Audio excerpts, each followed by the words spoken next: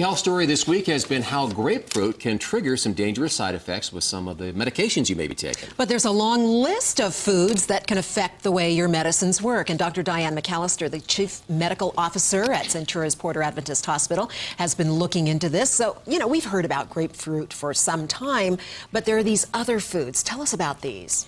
So there's two ways the food can affect um, your medications. One is since we take most pills orally, the foods that are in your stomach at the same time can um, decrease the absorption of the foods. The second is some foods contain vitamins or um, amino acids that actually float around your body and can interfere with the uh, drug's metabolism.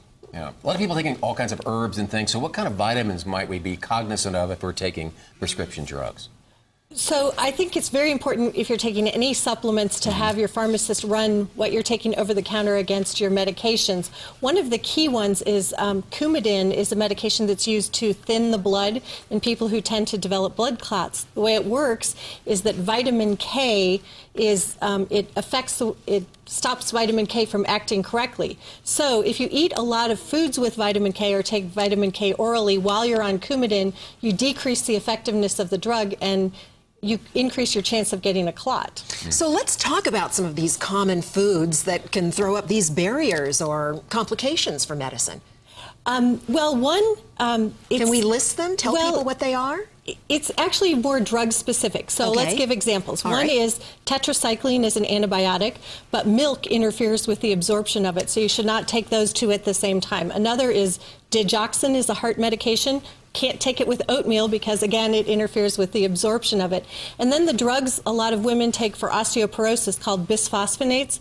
You cannot have anything in your stomach or the drugs are not absorbed ap appropriately. Yeah, and so this came and made news because of grapefruit grapefruit, milk, all these things, nothing in and of themselves that's bad. It's just the interaction with the medications. Why the problem with grapefruit? So, grapefruit, you know, we like to drink it for um, grapefruit juice for breakfast, but it actually can slow down the metabolism of some drugs. And what that does is you give a dose of drug based on a normal metabolism. If you slow down the metabolism, you increase the level of the drug, sometimes to dangerous proportions.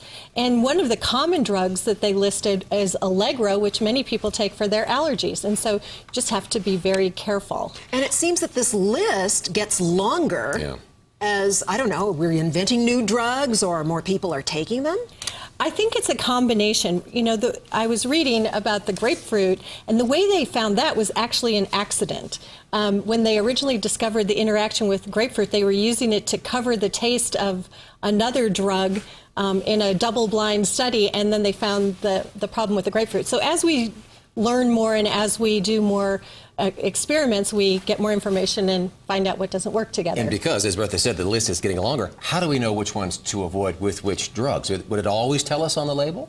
Well, it should. There's a couple things. First, your doctor, you should ask them and they should tell you what kind of interactions happen with your drug. The second is the pharmacy is very good about putting little labels on that say take on an empty stomach or do not eat uh, leafy vegetables while you're taking this, you should really pay attention to those because it's very, very important. And then you get a lot of packets of information. Um, read them.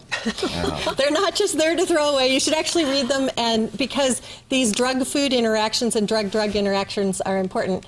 And finally, you can go on the web, and there's several websites that you can put in what you're taking and what you like to eat and see if they affect yeah, see, each other. See if they collide. yeah.